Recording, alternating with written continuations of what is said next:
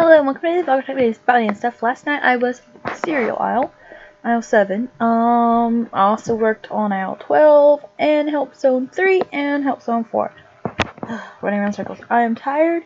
They have to do Binding of Isaac, Wrath of the Lamb in this video. If you want to give it a rebirth, sorry, rebirth in this video. If you want to give a like, comment, share, favorite, all that, you can. And forget it's today. Bye-bye.